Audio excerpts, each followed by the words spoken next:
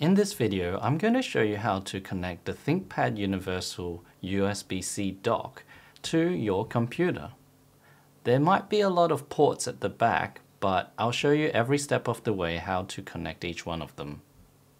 Take everything out of the packaging and plug in your USB-C cable to the back of the dock. Next plug in the DisplayPort cable into the display port. You can also plug in an HDMI cable. If you have multiple monitors, you can plug them all in. This dock supports up to three monitors.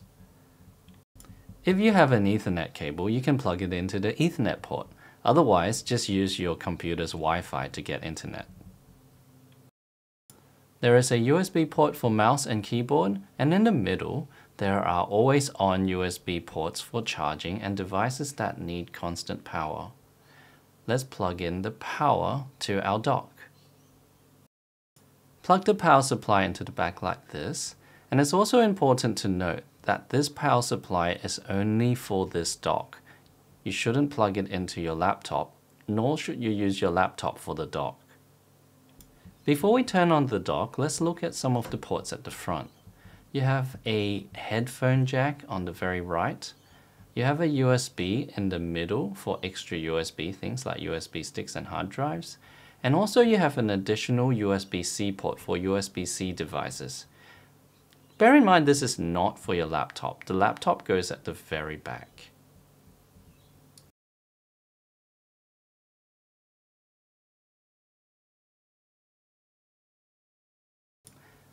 Let's plug in your USB-C cable. If you notice that there are multiple ports on your laptop, plug in your USB-C cable to the one with the Thunderbolt symbol on it. This will allow your laptop to be powered by the dock as well.